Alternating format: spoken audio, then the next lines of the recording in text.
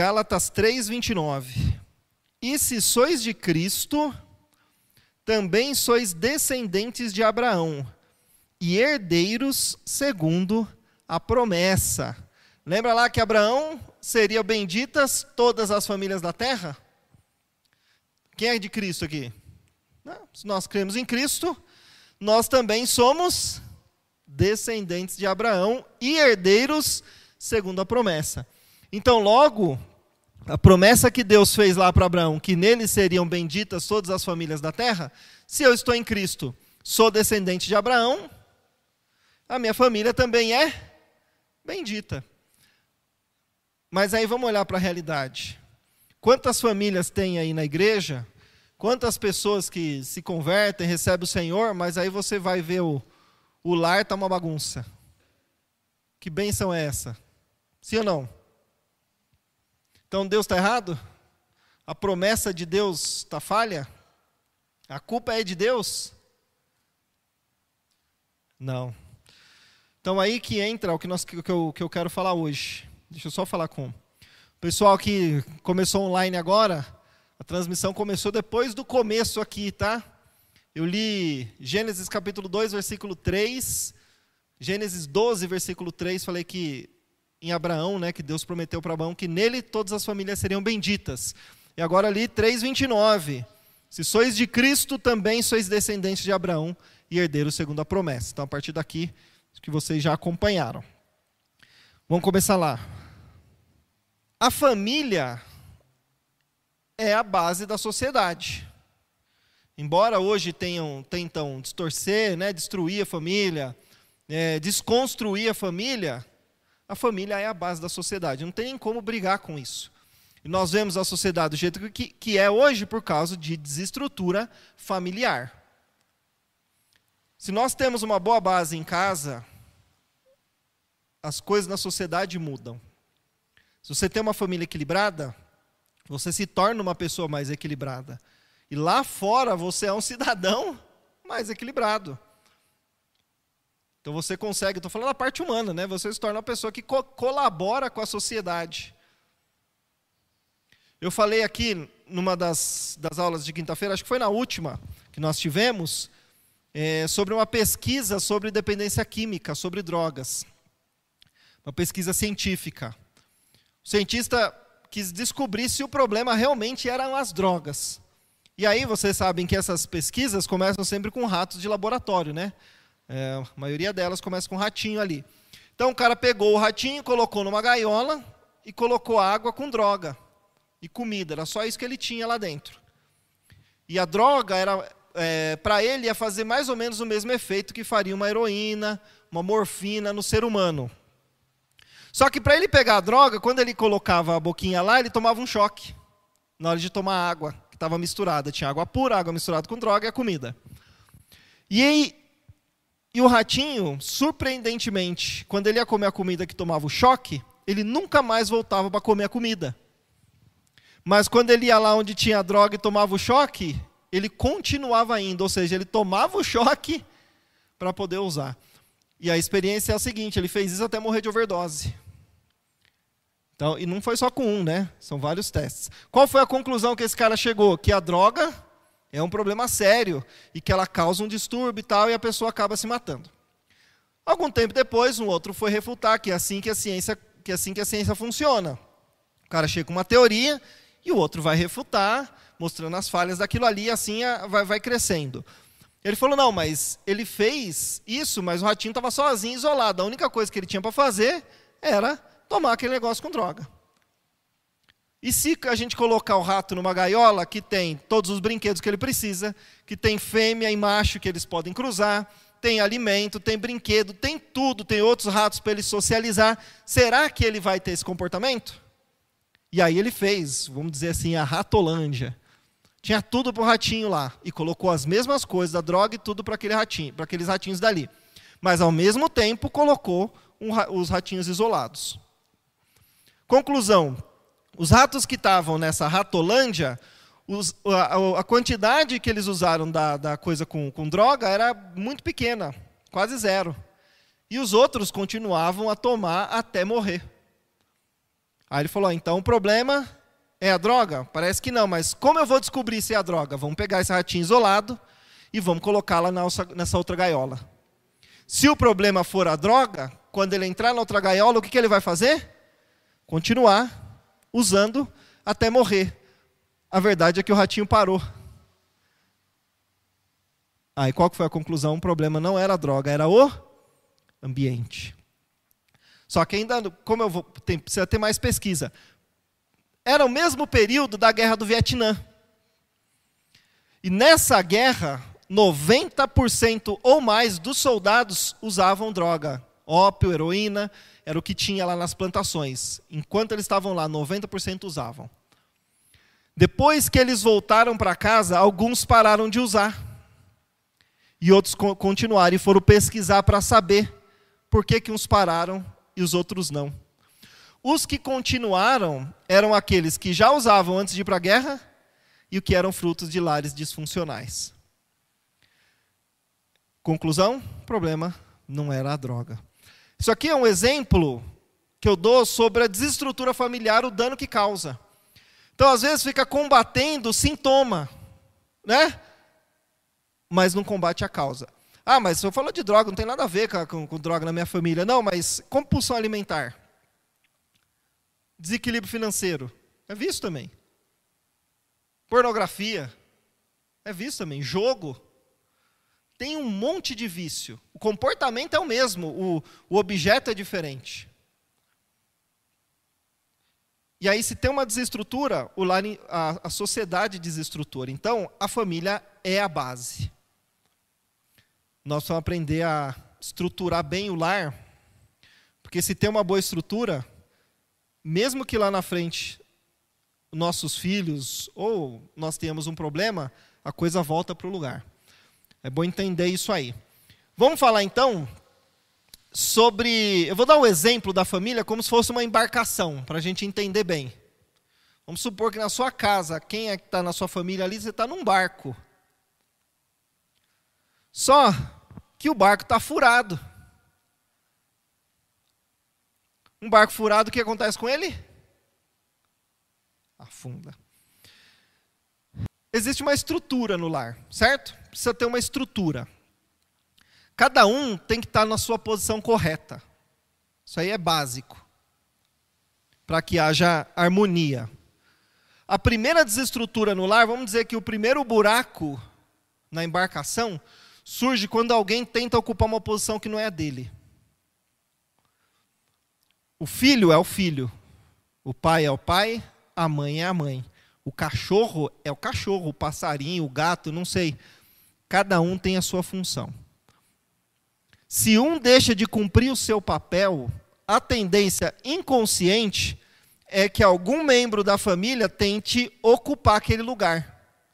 Só que na hora que ele tenta ocupar aquele lugar, ele deixa de fazer a função dele. E ele passa a fazer uma função que não é dele. Aí ele não cumpre o papel de verdade, não consegue tapar o buraco, ele se desequilibra. E aí o restante também vai se desestruturar. Um exemplo básico. Tem, tem dois filhos, um tem 15 anos, outro tem 8. E tem o pai e a mãe, o pai morre inconscientemente, algum dos filhos vai tentar ocupar o lugar do pai. Isso é muito comum acontecer. Ele pensa assim: bom, agora o homem da casa, quem é? Sou eu. Só que ele é o homem da casa? Não.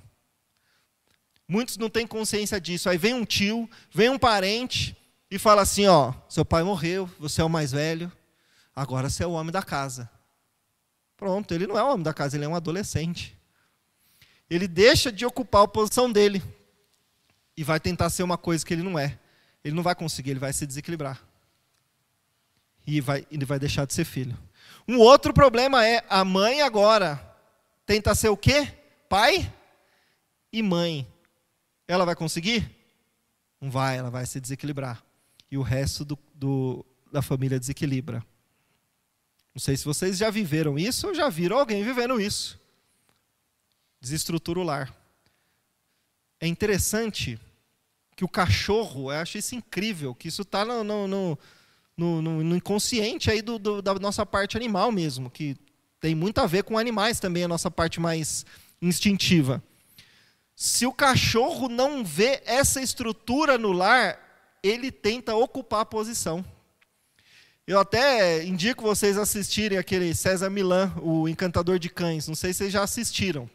Se você tem Disney em casa, é, Disney Plus, tem um, um novo dele lá na. Novo assim, mais recente, lá na Disney. Eu não lembro o nome agora, mas que ele vai lá cuidar das casas, vai ver o problema dos cachorros. Eu gosto porque eu gosto dessa coisa de comportamento. Então é incrível. Ele começa a perceber que o, o marido ou a mãe, alguém ali não ocupa a posição de liderança, o cachorro sente isso e ele começa a se tornar um cachorro agressivo. Por quê? Porque ele percebe que não tem um líder na casa e ele precisa proteger. E aí ele se torna um, um animal desequilibrado. Ele não deixa ninguém chegar, ninguém faz carinho, não che chega alguém perto, ele avança. Pode ser cachorro pequeno, qualquer um, porque ele percebe isso, ele sente isso. Então, isso, para mim, mostra que Deus colocou isso na natureza. Nós precisamos ocupar a nossa posição. Doa quem doer. O homem é o líder da casa. E a mulher coopera com ele nisso. Não é o líder de eu mando, você me obedece, cala a boca, você é submissa. Não é isso. Isso aí foi uma interpretação errada da Bíblia. A palavra submissa, submissão, é estar debaixo de uma missão. Não é eu mando, você obedece. Então, o homem, naturalmente, ele foi feito para liderar. Ele foi feito para liderar. E você pode perceber que a mulher tem mais facilidade de cooperar. Sim ou não? E aí você vai ver um lar que está com problema. O marido não toma a liderança da casa, a mulher tem que tomar. E a mulher começa a reclamar: meu marido não faz nada. Meu marido não toma decisão. Tudo que tem que fazer sou eu. Aí você vai lá conversar com a casa, o que, que você percebe? O marido foi filho de uma mãe muito super protetora. É muito comum isso aí ele não aprendeu a tomar decisão. Ou na casa dele, o pai também era tranquilo, era mãe, aquelas mães autoritárias, fazia tudo, decidia tudo, o cara não aprendeu a fazer nada. Aí ele chega em casa, o que, que ele quer? Que a esposa seja a mamãe dele. Vai dar certo isso aí? Não vai. Se a gente começar a observar, vai, vai, vai trazendo isso para trás. É desestrutura que vem de muitos anos. Porque não tomou posição básica. São coisas básicas. Não é assim, eu sou o líder, eu mando e tal. Não é assim. Mas é natural. O homem tem mais testosterona, meu filho. O cara é mais, é mais agressivo. É normal. Alguns têm menos, outros não, mas é normal isso aí. É da natureza. Se você é homem e não toma posição na sua casa, você, você nunca vai ser feliz. Na hora que você toma posição e começa a fazer, você vai se tornar uma pessoa mais feliz, mais equilibrada, porque foi para isso que você foi feito. A mulher se torna mais segura quando ela percebe que tem o um marido que está ali do lado, tomando a frente. Na hora do vamos ver, ele põe o peito e vamos lá. O problema é você ter dentro de casa um adolescente de 50, 40 anos. Isso não é preconceito e não é conversa atrasada, isso é, é básico de relacionamento. Aí a mulher em casa, a mulher, ela tem a posição da mulher. Não estou falando que a mulher ela lavar, passar, cozinhar e ficar quieta. Não é isso.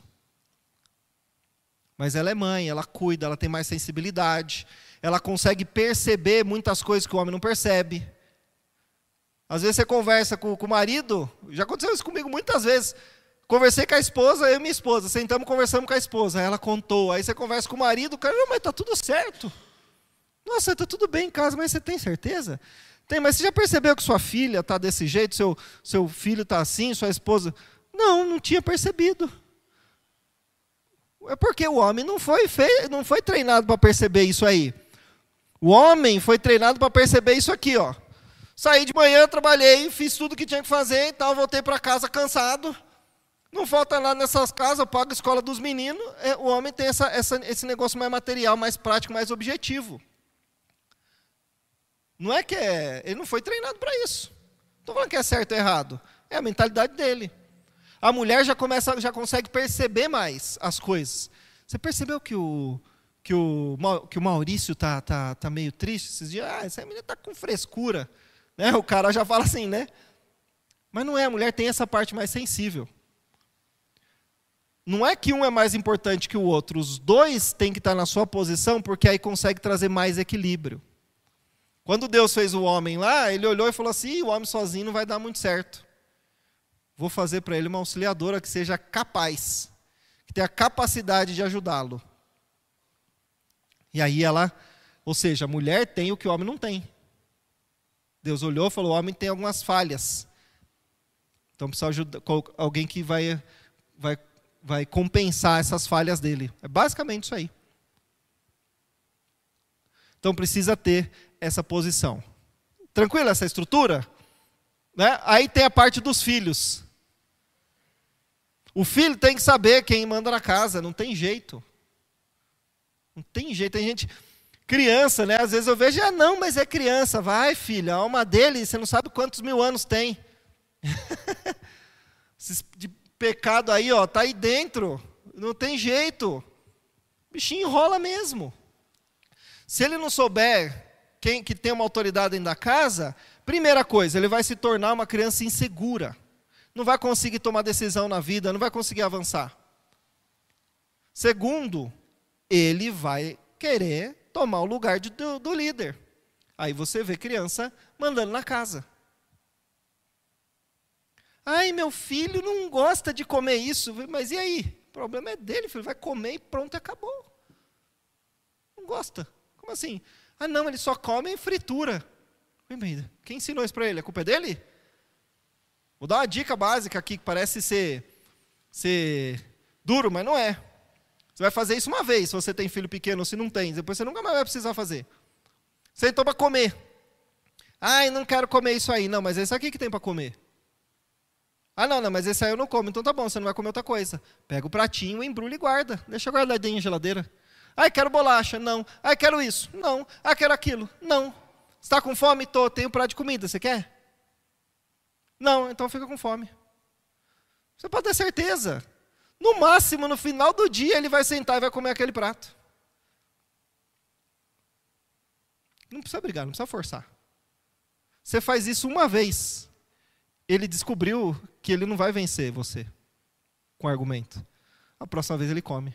Resolve rápido. Aí você vê o pai, por que, que o pai deixa o filho fazer o que quer? Porque ele está cansado do serviço. E vou fazer porque o filho fica quieto logo, me deixa em paz. Mas entenda uma coisa: os filhos não são seus. A Bíblia fala que herança do Senhor são os filhos. O filho é de quem? de Deus. Ele te deu para você cuidar. Lá na frente ele vai te cobrar. E aí, o que, que você fez com seu filho? Aí, às vezes eu sou egoísta, né? Estou cansado, não quero brincar com meu filho. Estou cansado, deixa ele chorar, eu vou dar logo o celular na mão dele. Estou cansado, deixa ele fazer isso logo. É egoísmo, você está pensando em si mesmo está estragando a criança. Então tem que ter firmeza. Criança mais segura é criança que tem, que tem mais disciplina em casa ela se torna uma criança mais segura. Por quê? Porque ele, inconscientemente, ele está na posição dele de filho. Precisa ter isso. E não é aquilo, eu mando, você obedece, cala sua boca, não fala nada. Não é isso. É você se tratar com firmeza. Não é não. Lembra que, que o Senhor Jesus falou? Seja a sua palavra sim, sim, e não, não. O que passar disso vem do maligno. Posso fazer isso? Não. Ah, mas isso aqui, isso aqui. Não. Não. Se continuar insistindo, uma semana sem jogar. Pronto. Você faz uma vez, faz duas, faz três. Ele, com a próxima vez que você falar não, ele já vai saber que a sua palavra não é. Não, ele não vai insistir. Se você fizer isso, você vai perceber que seu filho vai começar a se tornar uma criança mais segura. Ele vai se tornar uma criança mais equilibrada. Percebe que, a, a, a infelizmente, essa, essa ideologia pós-moderna foi tirando isso. Eu fico impressionado hoje. Eu falo, puxa, eu vejo adolescente, 15, 16 anos, eu olho assim, eu falo, rapaz, nessa época eu já era homem. Eu olho para o menino e falo, o que, que é isso? Falando fino. Você, você né? Bate o cotovelo, já não sabe subir, não sabe subir num muro. é. É. Cachorro late, sai correndo, não, sabe? Na minha época eu pegava pau para ir, vai, vem aqui, não sei o quê. Porque foram desconstruindo isso aí. Parece, ah, não, mas você está falando de animal. Não, nós temos uma parte animal, sim. Nós temos essa parte aqui, ó, que é assim. E essas coisas são importantes para a segurança, para o equilíbrio. Não é ser grosso, não é ser atrasado. Eu estou conseguindo me, me, fazer entender, né? Bom, falei da desestrutura, da, da embarcação, né? da estrutura. Então, pai é pai, mãe é mãe, filho é filho. Cada um tem a sua posição. Sogra é sogra, sogra já não, não, não tem mais nada a ver com a família. Ela é lá e você é aqui. Casou, acabou. Sua mãe não tem que dar palpite no seu casamento. Seu pai não tem. No máximo, você vai lá e pede um conselho. Tem, tem, tem mãe que depois não consegue perceber que ela já não, não tem mais que educar o filho. Tem mãe que não consegue ter esse filtro. O filho casa, ela ainda quer educar o filho. Não acabou, não tem mais educação. Agora ele vai ter que aprender com a vida, batendo cabeça, errando, não tem jeito. É duro para essa parte? Claro que é. Mas aí ela tem que dar opinião quando o filho pedir. Porque senão causa outro problema, porque ela já não está mais ali naquela casa. É outro problema de estrutura. Se o marido dá, dá vazão demais para a mãe entrar, vai ter problema entre ele e a, mãe, e a esposa. Se a esposa dá vazão demais para a sogra, para a mãe dela entrar, vai ter problema entre ela e o marido. Essas coisas precisam ser muito ajustadas, tem que ter muita comunicação para ajustar. Isso vai trazer mais paz. Você pode perceber, um lar que a sogra dá palpite demais dentro da casa, entra lá e vai ver como tem problema. Tem problema. Não é que a sogra é ruim, não é nada. Tem que saber. Se você sabe cuidar direitinho, cada um na sua posição, todo mundo fica mais feliz. Ai, mas minha mãe vai ficar triste. Eu não posso fazer nada. Eu casei, a minha família tem que estar em paz. Ué, aí eu deixo minha mãe feliz e vivo o um inferno dentro de casa? Não dá. Tem que ter cada coisa no seu lugar. Bom, durante a série vamos falar mais sobre isso. Percebeu? Todas essas coisas furam a embarcação, certo? Aí o barco começa a afundar. E aí, eu quero falar sobre uns tipos de pessoas. Acabei me alongando, mas, vai, vai dar tempo. Fica tranquilo. Alguns tipos de pessoa que existem nas famílias. Aí você se identifica se é você um deles ou se você conhece um deles. Nós temos o dedicado. O dedicado é aquele que está querendo resolver o problema sempre. Ele está se envolvendo sempre em resolver. Esse é aquele que geralmente quer, fica tirando a água do barco, sabe? Tirando a água do barco. Porque o barco está afundando. Aí ele pega o balde e quer tirar a água do barco. E fica alertando todo mundo, quer tirar a água do barco. Tirar a água de um barco furado resolve o problema? O barco vai continuar afundando. Uma pessoa assim, ela vai ter muito problema emocional. Porque ela vai se cansar. Ela vai se cansar de ficar o tempo inteiro fazendo aquilo. É um trabalho que não tem fim. Não adianta você tirar a água do barco furado, você tem que tapar os furos. Você tapa os furos, depois tira a água. Certo? Mas também você tem que identificar os furos. Por onde está entrando essa água aqui? Ir lá e resolver. Então tem o dedicado. Tem o diferente. Geralmente é o rebeldão. É aquele que não se encaixa no padrão da família. Sempre arruma confusão. Né? É o cara que dá muito problema. Muitas vezes é um cara que não sai da adolescência, está com 50 anos, está lá dando problema até hoje. Mas porque ele é o rebelde, ele é diferente, eu não me encaixo nesses padrões. Problema. Sempre quer fazer o oposto de todo mundo, né? Está todo mundo fazendo ali, ele quer fazer o contrário, porque ele precisa chamar atenção. por trás disso é uma pessoa com problema. Às vezes é uma pessoa muito segura, é uma pessoa muito carente. Às vezes é o filho do meio. O mais velho cresceu, é o que mais apanha, é o que mais toma bronca, é o que mais é duro. Aí o segundo, você é mais ou menos, o primeiro você mima. Porque você, é, é, é, geralmente é assim. E quando nasce o, o, pequeno, do meio acaba esquecendo, porque o mais velho é o responsável, é o cara que faz, é o que aprendeu. Né? O pequeno é o bonitinho, e o do meio quem é? Aí esse cara, de alguma maneira, quer chamar atenção. Estou aqui, ó.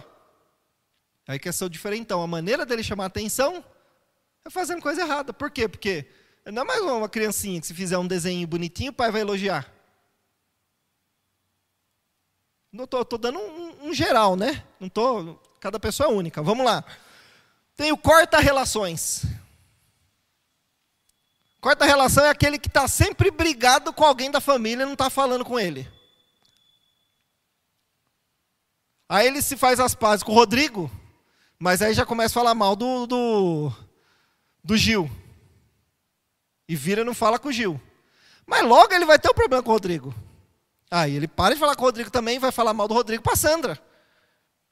E aí daqui a pouco ele para de falar com a Sandra também. Ele já teve problema com todo mundo. E ele é geralmente essa pessoa é aquele que, é, que já teve problema com todo mundo na família e todo mundo tem que aguentar ele. E fica tendo que gerenciar os problemas dele. Não sei se você é assim, se você conhece alguém assim. Essa pessoa também ela tem muito desequilíbrio, né? Tem problema de caráter, né? Não, não, a pessoa não se gerencia. Todos esses têm problema de equilíbrio, tá? Aí tem o anjo, entre aspas, tá? O anjo é aquele que sempre é a vítima. Ele sempre é a vítima da família. Meu pai não me deu atenção, minha mãe não me deu atenção, mas foi minha irmã que fez isso e eles me abandonaram. Todo mundo tem problema. É aquele cara, eu, eu gosto de exemplificar com a mulher de João 4.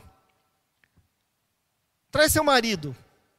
Não tem um marido? É, você não tem mesmo, você já teve cinco, esse aí que você tem não é seu marido. Ah, vejo que tu és profeta. Eu fico pensando assim, ou essa mulher era muito boa ou ela era muito ruim. Muito boa, assim, o meu padrão é muito alto, esses caras, ninguém atinge o meu padrão, não dá para ficar com eles. Ou, teve cinco ninguém aguentou. o mais provável é o contrário, né? é aquela pessoa que todo mundo tem problema, ela não consegue enxergar, fala, mas será mesmo que meu professor, meu pai, meu chefe, minha mãe, o pessoal da igreja, o pessoal do meu trabalho, os meus vizinhos, meus amigos, todo mundo está errado, até o cachorro, e eu estou certo, será mesmo que é possível? Será que você não tem um problema? Esse é o anjo. Essa pessoa geralmente conta narrativas.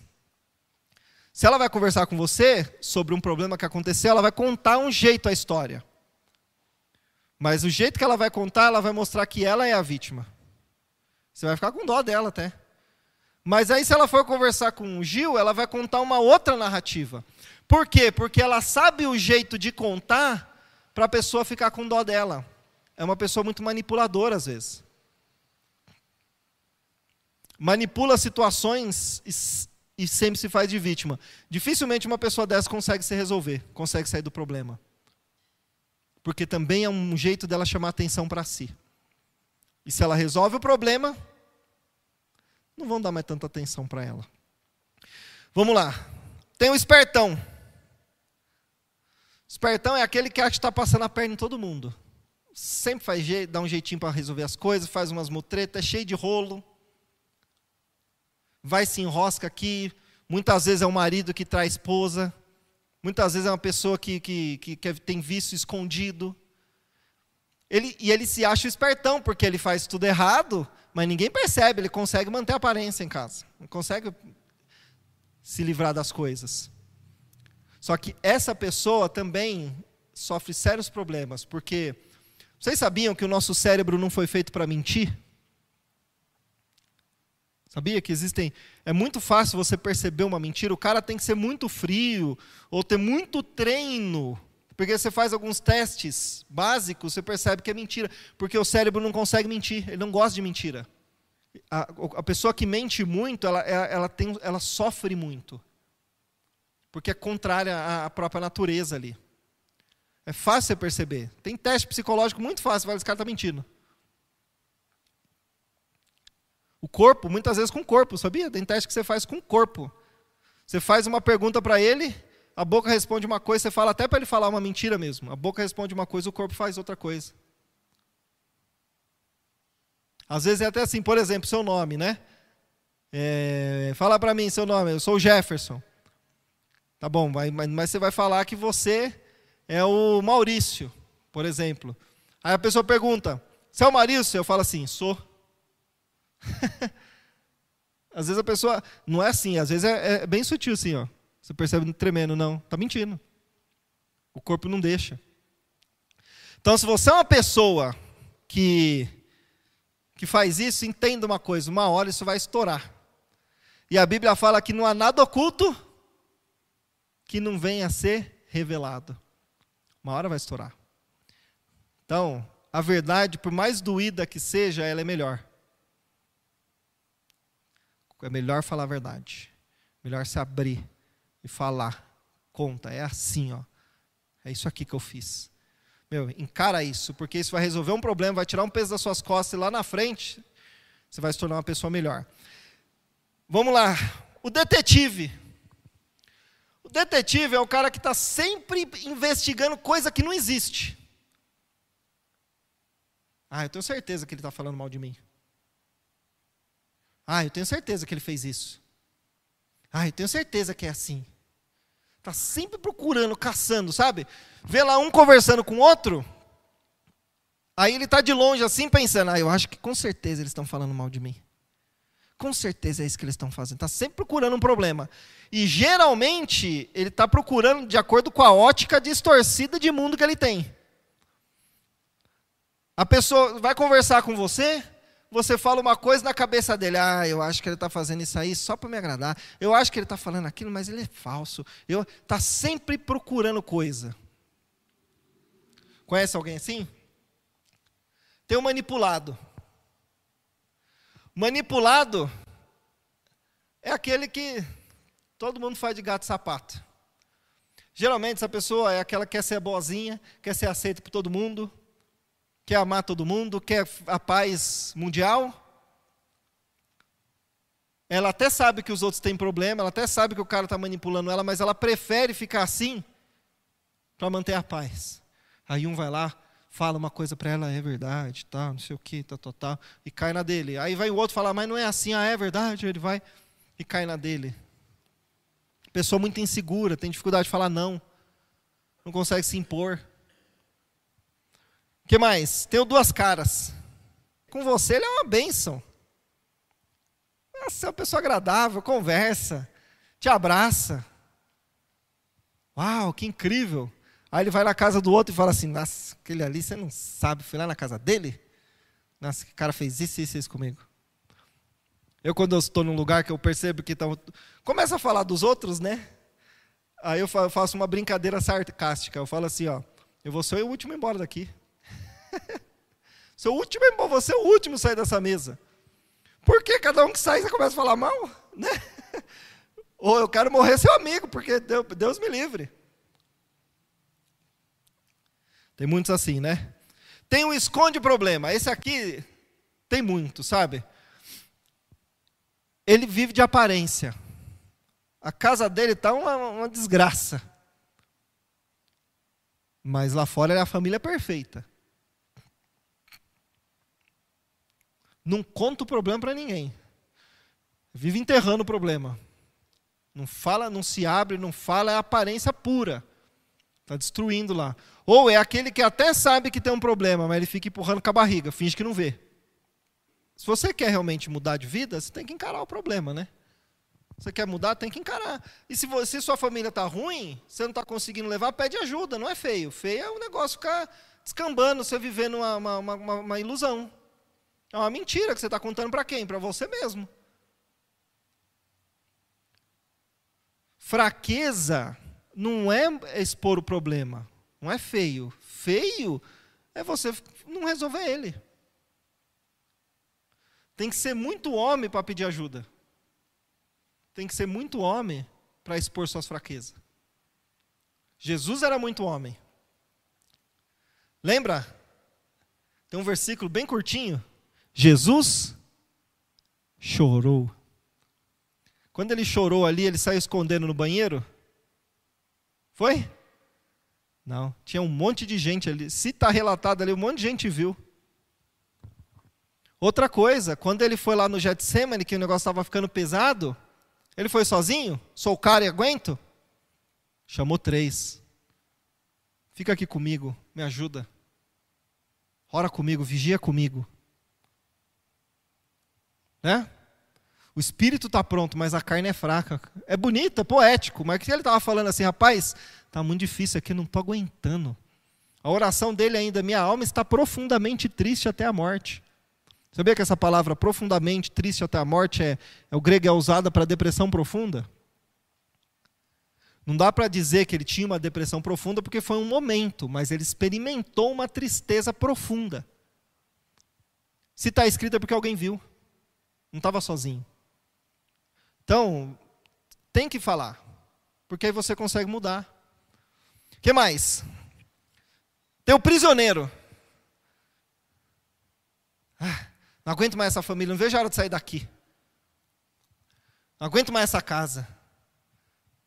É, é, é, é o cara que ele, ele, é, ele, é, ele é top, né?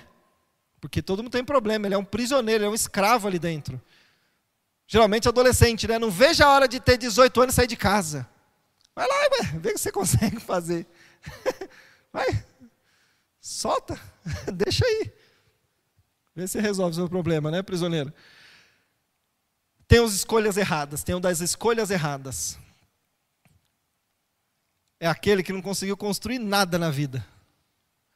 É aquele que não conseguiu se resolver. É aquele que não conseguiu levar um casamento para frente. Não conseguiu criar bem os filhos. Esse cara, muitas vezes, ele se, se põe numa.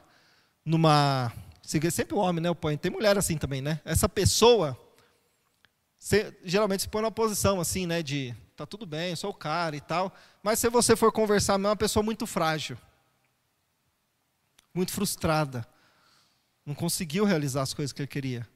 Ele sabe disso dentro dele, ele só não consegue expor. Só que aí chega uma hora, a pessoa tem um infarto de repente. Chega uma hora você percebe que é uma pessoa começa a estourar, tem muita irritabilidade, frustração, não conseguiu resolver as coisas. Depois nós vamos falar umas outras sobre isso aí. E aí tem o cheio de razão, né? Cheio de razão é, meu, ele não dá o braço a torcer nunca. E geralmente esse é um estouradão também. É o, como que chamava? O pavio curto. Estoura, resolve tudo no grito, resolve tudo na pancada. Ele está sempre certo, orgulhoso. Sabia que por trás disso, muitas vezes tem uma pessoa muito insegura? Ela precisa gritar para conseguir por os outros, para ela se sentir melhor. Ela é muito autoritária, ela precisa colocar as pessoas debaixo do pé dela, porque ela precisa se sentir segura. Precisa humilhar alguém para sentir alguma coisa. Não precisa disso. Bom, eu fiz um apanhado geral aqui. Identificou alguém da sua família assim? Sim ou não? Sim? Se identificou em algum, não precisa falar. Senão você fica com vergonha, né? É claro, não, é, é um perfil geral, né? Cada ser humano é único. Agora eu quero fazer uma introdução para a próxima, tá? Todos esses aqui são frutos de lares disfuncionais. É uma pessoa que tem algum desequilíbrio. E é difícil você encontrar alguém equilibrado, tá? Eu fui fruto de um lar disfuncional. Meu pai e minha mãe separaram, eu tinha três anos de idade. Eu nem sabia que isso ia me dar problema, me deu. Por muito tempo. Minha esposa também é. Tinha muito tempo para os pais com problema. Mas aí é culpa deles, aí você vai lá na raiz, você vê lá que o pai também teve problema, que o avô teve problema. Então, alguns chamam de maldição hereditária, que realmente existe isso aí, mas também existe o condicionamento. A pessoa aprendeu daquele jeito. Quando você nasce, seu cérebro é como se fosse uma esponjinha absorvendo informação para aprender a sobreviver. E o que ele aprendeu, que te dá a base de quem você é, foi lá na infância. Sete anos, dez anos, no máximo. Mas até os sete é a principal base. E foi o que ele aprendeu lá. Depois disso, você repete padrões comportamentais. Esses dias eu atendi uma moça. Foi minha esposa lá. Ela falou: Ah, eu fiz um, um, um negócio de libertação espiritual, fiz todas as renúncias e tal, mas parece que depois disso piorou. Eu falei: Mas é claro, é, tem condicionamento mental. É fácil jogar a culpa no diabo. Tem o seu, você foi condicionado assim. Você tem o seu padrão aqui, ó. Ah, mas é culpa do meu pai. Calma, tá bom, foi, mas e aí? Agora tem que resolver o seu problema, você tem que mudar aqui, ó. E aí que entra a questão dos furos na família. Um tem um problema, o outro teve o outro, o outro teve. Imagina o casal que veio um de um lar disfuncional, o outro também de um lar disfuncional. Junta os dois, como que vai ser? Você pega cada um na sua canoa furada, junta as duas. Não, só aumentou os furos. e aí que é importante olhar para si e resolver o seu problema. Quando eu vou atender um casal, eu sempre faço assim: eu atendo o marido sozinho, atendo a esposa sozinho, atendo os dois juntos. Atendo o marido sozinho, a esposa sozinho e os dois juntos. Por quê? O problema está gerando porque cada um é problemático. Então aí eu resolvo, você se resolve, o outro se resolve. Uau, mas não precisou resolver aquele problema? Não é, porque aquele problema era gerado porque você e ela tinham um problema individual. Então, para resolver, você tem que olhar para si e assumir: eu tenho isso aqui, ó. Eu preciso resolver isso aqui. E encarar e resolver. Dá trabalho, viu? Não é fácil. Mas quem quer, resolve. Tem gente que espiritualiza tudo, né? Não, mas o Espírito Santo faz. Faz, filho, mas eu atendo pessoas, eu trabalho com pessoas há 15 anos. Não sei quantas, 100, 200, 300, 400 pessoas já atendi. E um dia eu percebi que a culpa não era de Deus, não, é porque eu achava mesmo. Falava, esse aí Deus não quer mudar, não. Ué, mas como assim? Né? Esse aqui Deus quer mudar, aquele ali ele não quer? Deus faz acepção de pessoas? Não, então tem alguma coisa errada. Ah, então é o capeta, então vamos expulsar o demônio. Vai, expulsa, a pessoa mudou? Não. E agora? Vamos fazendo experiência, ué. Tem alguma coisa errada nesse negócio aí? Por que, que uma mudou, outra não? Senhor, o que está acontecendo? Aí você conversa com um, conversa com a outra. Aquele ali praticou, se esforçou, mudou, o outro continuou do mesmo jeito, ficou esperando o super-herói vir do céu, colocar alguma coisa na cabeça dele mudar. Não muda. Deus nunca vai fazer sua parte. Porque lembra, você é da família de Deus. Sim ou não? Né? São pequenas famíliazinhas nossas aqui, mas se junta, é a família de Deus.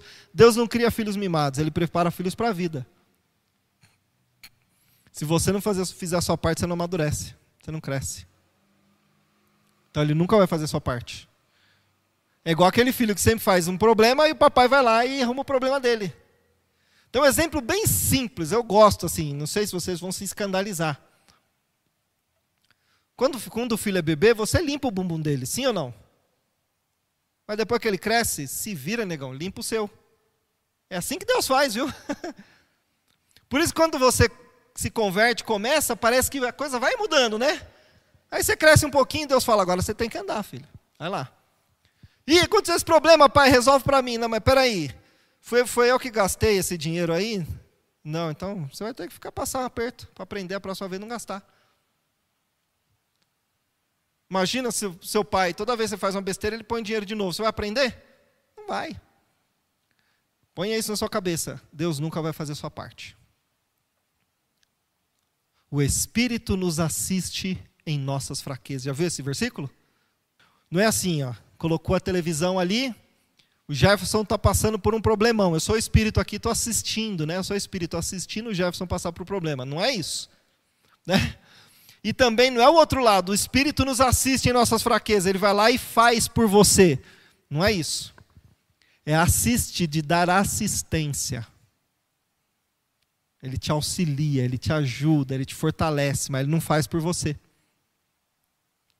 É a mesma coisa eu falar assim, Rodrigo, você pode me ajudar a pegar esse esse púlpito aqui está muito difícil, está pesado, Rodrigo. Não estou conseguindo. Aí o Rodrigo vem e pega para mim, é isso? Não. O que, que é ajuda? O que, que é dar assistência? Eu pego de um lado, ele pega do outro, fica mais leve. É isso que Deus faz com a gente. Porque nós precisamos aprender a administrar, resolver os problemas e crescer. Essa é a diferença das pessoas que você percebe que avançam, que Deus vai usando, que vai prosperando e daquelas que não saem do lugar.